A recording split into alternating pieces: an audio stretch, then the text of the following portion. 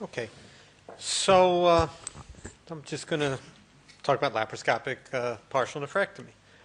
So why a laparoscopic approach? And there are several studies that have shown with the laparoscopic renal surgery, there's less pain, there's quicker convalescence, and there's optimal cosmesis. And when we first started doing these, we did these uh, little exophytic type of, of tumors. And then it evolved to doing more central tumors, uh, to patients with VHL with multiple tumors, and patients with rather large tumors. And so essentially, any patient that comes in, at least to our institution, um, is approached laparoscopically. If we need to convert to open, we will convert to open intraoperatively, but the approach is, is laparoscopically. And I can say, watch, I have to open up a case next week. But it's a rare occasion that when we go in to do a partial nephrectomy that we have to convert to open. So what is the bottom line? The bottom line is just it's, it's, it's technical. What, what we do, what I do is technical. I've just been fortunate enough to get a lot of cases. Um, referred to me, which is why I got good at it. Um, but uh, I, there are people who are, are better at it than I am. We'll get to that, that part of the discussion. So, in terms of approaching it laparoscopically, I think we need to talk about cancer control. And this is actually from Long Island. This was a truck. There was a big mosquito a problem in Long Island. There was a truck spraying DDT, and a sign there says, DDT, powerful insecticide, harmless to humans. Um, and if I was a young child, I'd be running through the mist. And I have vague memories of being a, a small child in Brooklyn, and these trucks would go by and, and running through the mist. Um, but we know that uh, um, for killing the mosquitoes, we caused a lot more problems. And similarly, when you're doing a laparoscopic approach, you don't want to kill the mosquito. Okay, Mrs. Jones gets out of the hospital a couple of days earlier, uh, but is then left with a problem three or five years down the road when they have a recurrence of their tumor. So we have to be very careful when applying any new technology to treat a malignancy. And in terms of cancer control, we actually had the longest follow up. We have 10 year follow up now of only 48 patients. Uh, and of these patients, they were relatively small, all less than four centimeters. We had two positive surgical margins. And we had recurrence in two patients, but none of these were the patients with the positive surgical margins, these two patients. And one was in a different location in the kidney, and one was a pulmonary metastases. Um, two died of unrelated diseases. In terms of positive margins, just to digress and be interesting to, to see the, the other speakers' thoughts on this. This is a paper I did with Indy a few years back uh, that our pathologist gave us positive margins. And part of the problem when you're removing these things laparoscopically, you put them in a small sack, you're pulling them out a hole, and sometimes you'll get a, a crack in the capsule or whatnot. Uh, and early on, the first two patients came at positive margins. I said, oh my God. I went back in, did a radical nephrectomies on them, and there was no tumor in the specimen. Uh, and the remaining uh, patients, we ended up, uh, one patient we ended up crying, and then we followed seven others. Uh, one died of VHL with metastatic pancreatic tumor, but the other six did not have recurrence. And I think this has been ours and other people's experiences that a positive margin may not meet a positive margin. It's really not a great way. Doing intraoperative biopsies, um, talked about this Michael earlier, um, that it is. Uh,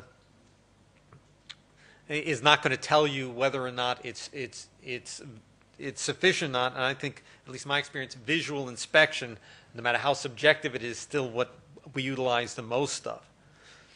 In terms of outcomes for more complex, this is uh, uh, out of Halifax, a study of 71 versus 51 open central Ohio masses.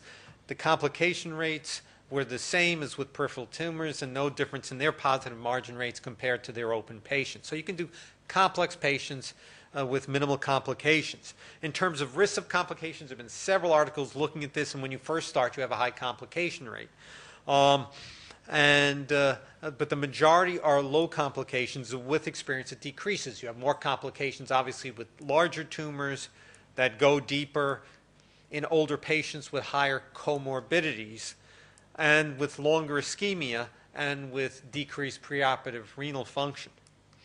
In terms of our complications on our first 825 patients, we had 11% complication rate, delayed bleed in 3% of patients, and urine leak in 3% of, of patients. And we found it made no difference whether we put a stent in or didn't put a stent in. And we actually never closed the collecting system. I haven't closed the collecting system in years, and our leak rate hasn't gone up, and they all heal on their own. And I think the danger is we've seen some cases referred in in which, when in, in partials, they've gone ahead and, and sewed things up and inadvertently closed the infundibulum or whatnot. So. Um, um, we know from bladder cancer work and from we know actually from Arthur Smith at our place that you can make huge holes in the kidney and within 48 hours um, the transitional carcin- the transitional epithelium is reepithelialized over and I think that's what we're seeing um, going on in the kidney. In terms of uh, comparison with laparoscopic and open, um, this is a paper that Indy published in response to an earlier paper that we published along with Andy Novick and Mike Blute, looking at complication rates comparing open and laparoscopic. And Indy was upset, and I was upset about that study because it compared our initial laparoscopic experience with the open experience after each had done over a thousand open cases. So there was a big differential.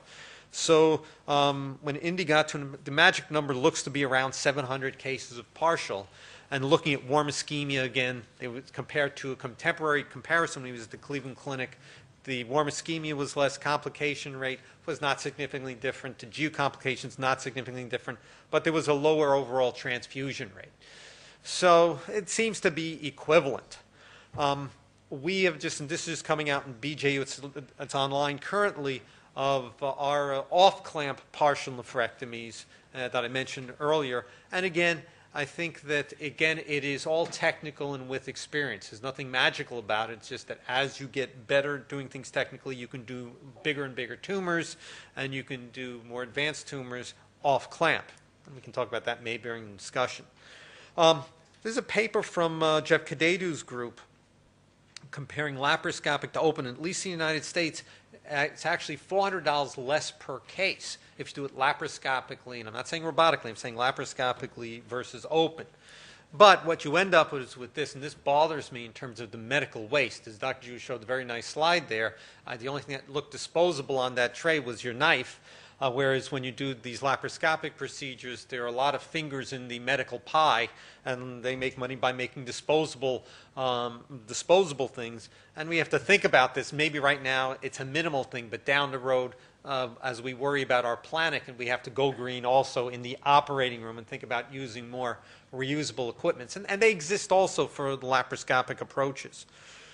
Um, to make things even more difficulty with partials, people have been doing uh, trans, uh, uh, NOTES uh, partial nephrectomies. This is from one of my partners, Lee Richstone, who is a far better laparoscopic surgeon than I am. And uh, so he has, a, he has a handful of patients that he's done uh, um, laparoscopic partials via a single incision, which is possible. And I think most patients, the only, other than cosmesis, I don't know of any studies that show there's any other advantage most of our older patients couldn't care less about it and would rather get off the table a little bit quicker. Um, but there are some younger individuals with tumors that this is an appealing approach to. Now, the problem is with the laparoscopic partial, it is hard work. If it was very easy, it was like giving somebody a tablet of, of sulfa when they have a urinary tract infection, we'd all be doing it. But it is difficult work. It's, it, it's a hard thing to do. So we've been trying to find ways to simplify it. One way is hand assist and putting a hand in there and hand assisting, having some tactile fee- feeling, giving a level of confidence if you get in the bil- bleeding to hold pressure, etc. The Da Vinci, you know, it's good for everything. Um, and so this is what has pushed a Da Vinci in our country, is that uh, it, it, uh, it allows more doctors to be able to do the surgery um, which is the bottom line. It doesn't offer anything to a given patient other than you don't have to uh, travel someplace where somebody could do it laparoscopically. But um, so we have to ask ourselves is the expense of this um, worth it um, to, to society to be able to do this? In terms of if you look, compare robotic and laparoscopically, again, looking at this, there's really no difference be- between them uh, between the two. And the warmer long, long ischemia is that they weren't very good laparoscopists, which made the cases take a little bit longer, but there was no difference in terms of outcomes between them. Uh, the problem in surgery, uh, there are a couple of problems in surgery. Um, besides being hard work, we've always adopted a see one, do one, teach one type of uh, um, philosophy. We really don't have great training mechanisms. And this is, uh, there are plenty of these out there, and these are bad, bad haircuts. And this is a haircut of my son. And my son had come home from college, his first year of college, this is a few years back, and was going to visit his buddy across the street, Tim. But he, before he did that, he was going to go get a haircut. So, of course, he wanted $10 from me for the haircut. I gave him $10 to go get a haircut. So he comes back with this, and thank God his mother wasn't home. And he said, Well, I stopped by to see Tim, and Tim got this new haircut device for his dog, and he said, Can I use it on you? And he, he said, Yeah, and he said, Doesn't this look good? And he's like going like this to the thing in the middle of his head. Uh, and he, and uh, he said, Plus, I got the $10. So he's holding on $10 like it's his. Um, it wasn't his after he went back to the real barber.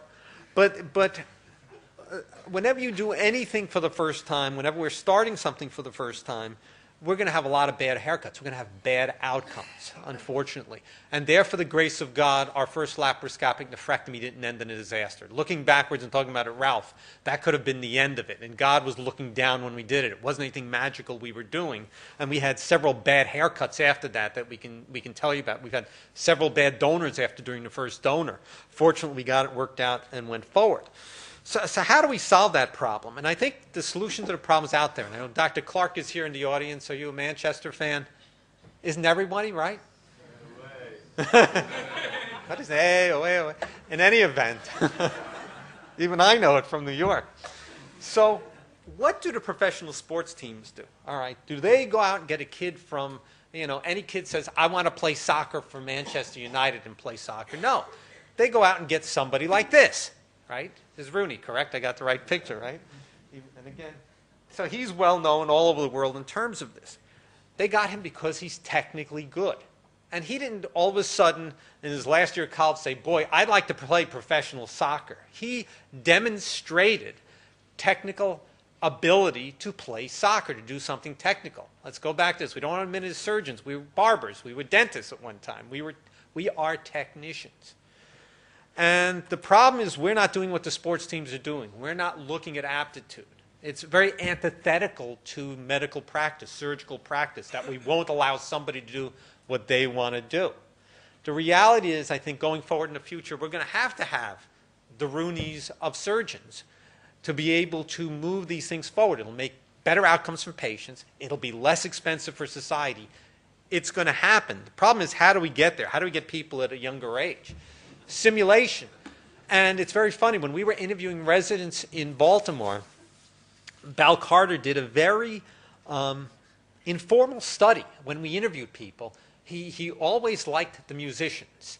Now, you didn't know, he didn't listen to them and see if they were good music. Everyone on their application plays, I played the piano, I played guitar. You don't really know if they're very good at it.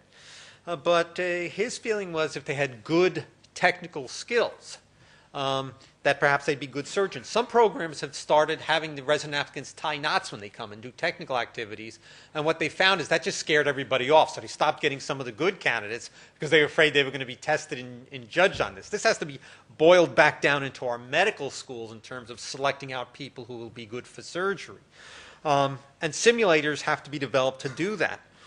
Um, there have to be ways of judging it. This is a study that we did at our place that was just published this past year um, um, in surgical endoscopy looking at eye tracking. And you could actually, this has been, this is done for looking at Air, uh, Air Force pilots to see when they're ready to go on missions and whatnot. And you can track involuntary, or voluntary and involuntary eye movements. And you can actually, actually um, see differences in experts and novices. And you end up getting a gaze tracing. While they're looking around, you get gaze tracing. And this is from a, a, a laparoscopic. On the left is an expert, it may be me. This is one of our interns. And you can see how tightly the eye movements are during a laparoscopic reflection of the colon on the far side of the screen. Whereas on the near side of the screen, novices looking around, their eyes come off the screen when they're looking on the floor for pedals, etc. And you can actually do, there are mathematical formulas, there, there are algorithms in which you can look at the, um, you can actually uh, um, look at it as a percent of expert time. And so we actually looked at some of our chief residents, and the top bar, the very top, is me over time. I'm one of the experts over time. And you can see I'm not always an expert either. When you're looking through a case, there are times I drop off perfection. But it's interesting to see that over time, the residents at different PGY year years would improve in terms of their technical ability. Very interesting, the green bar, one of these residents, he was god awful. He was just terrible. And so we got him and we actually made him, he wanted to get better. He went on a simulator and by his second year, he was able to catch up to the other residents. So practice does make perfect. We just need better simulators if we're going to keep up the current system we have now. There's also objective things in terms of PET scanning. This is coming out in uh, Archives of Surgery this year. Uh, we did several people in terms of PET scanning in a scanner. We did people do laparoscopic procedures in a trainer in a PET scanner. And comparing the, the novice to the expert, novices, medical students, interns use a lot more of their cerebellum uh, activity in terms of doing these new tasks, whereas the motor cortex is used in experts. So there may be ways of, of objectively seeing when people are ready to go on to, to operate on individuals. I think we need to get to that point. So, in conclusion, coming back round to what I'm meant to talk about, minimally invasive nephron surgery is feasible, and the results seem to parallel open surgery. Is this the future standard? No, I think the future standard are image guided ablations and observation, knowing who we really don't need to operate on. Thank you very much.